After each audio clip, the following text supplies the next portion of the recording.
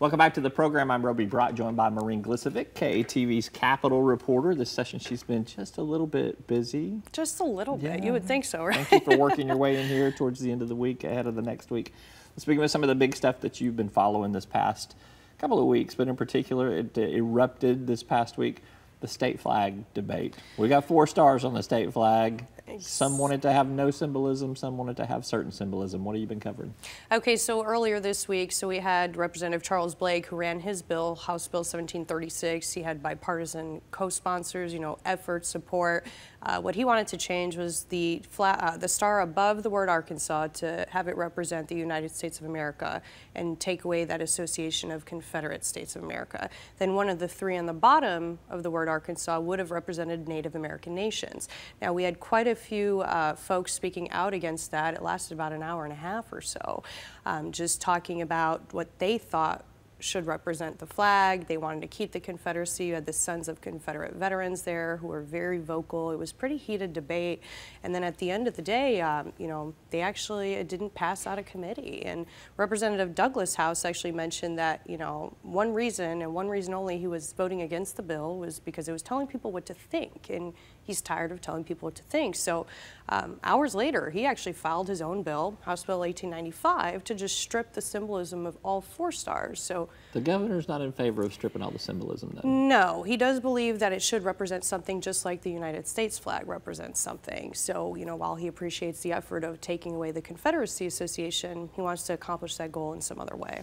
Yeah, well, what you, what's your assessment? You think we will have a resolution to this debate in this legislative session? Do you think it's something that's going to have to kick around and uh, build some more consensus for? I think that it may have to be kicked around, although Representative Blake did mention that he was speaking to some senators, you know, on the Senate side, and we could end up seeing another flag bill filed on the Senate side. So, All right, we will wait and see where that goes. All right, let's talk about specifically hog farms. We're going to talk about animal waste in general. One of the lovelier topics that you get to cover and that uh, we get to discuss here.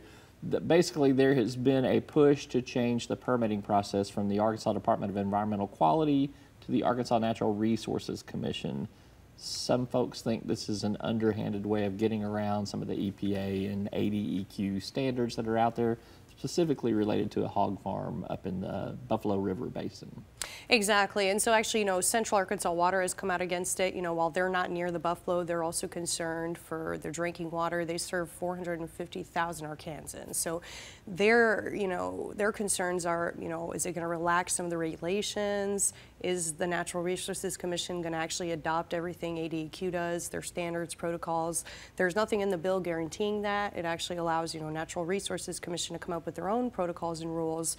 Um, you know, the Arkansas Farm Bureau is pushing for this. They're saying it's going to make the permit permitting process easier for farmers. They currently have to go see both state entities for different documentations.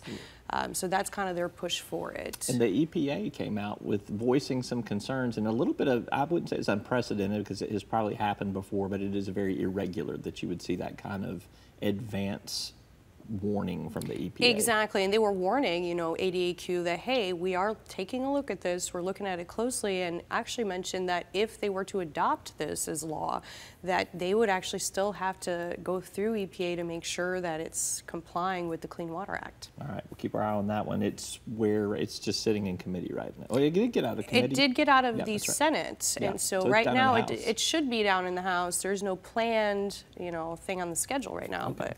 That one definitely is halfway through. We'll see where that goes. All right. State Senate President Jim Hendren introduced a bill and got it through both the Senate committee and the Senate chamber. It's down in the House now for a um, additional taxes on vaping, e-cigarettes, combined with a tax break for lower income and middle income Arkansans. There is another, I think, e-cigarette tax bill that's out there too, but this has become a public health issue. It's also become a way to raise some money. Exactly. I, I understand that, you know, for, with Hendren's push for it, you know, a lot of them mentioned that, you know, why should we be paying for those who choose to smoke cigarettes and things along those lines and their health complications.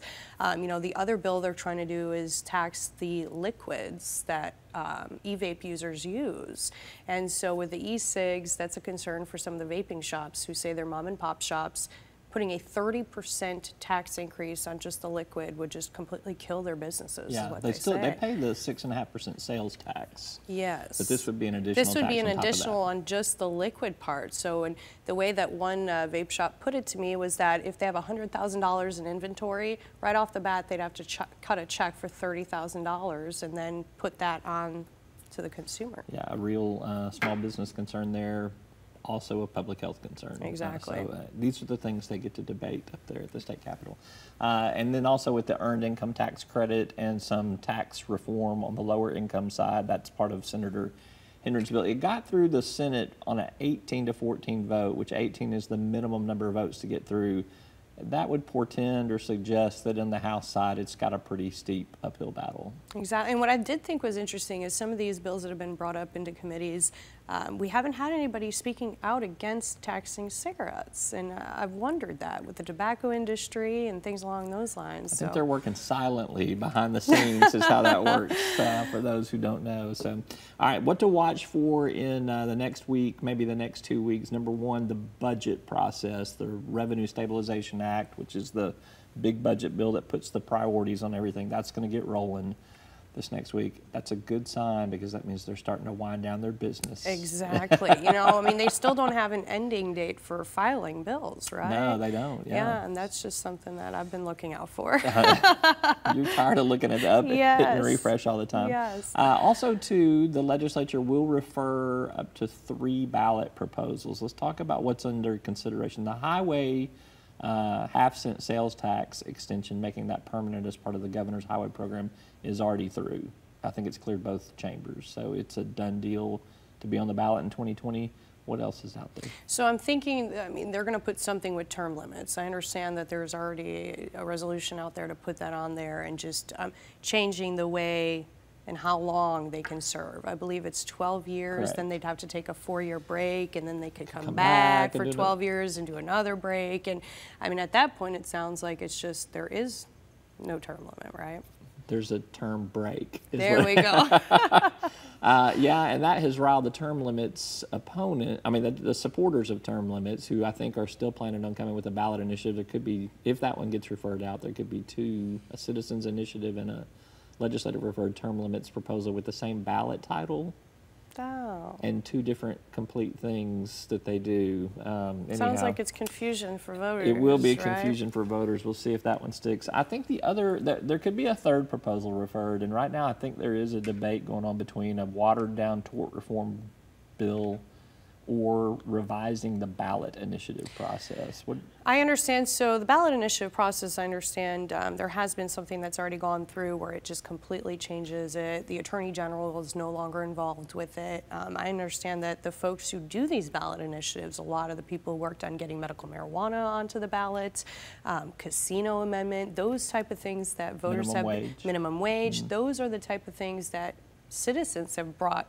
to voters, and the process has completely changed, if you will. And um, I know that's a big concern for the people who campaign on those who've Yeah. been doing this for years. higher threshold for signature collection, and I do think it is wise to move up the dates of all the collections. We have dealt so much with the um, Supreme Court kicking them off the ballot when the ballot's already printed. This is an attempt to resolve that, but there are some hidden gems Mm-hmm. in that bill too that, uh, like you said, some of the supporters some of these ballot initiatives are not going to like. Exactly. All right, she's Marine Glisovic. She covers the Capitol for KATV. You can catch her on KATV and you can catch her at KATV.com. Thank you. Thanks so much, Good to see Roby. Always good.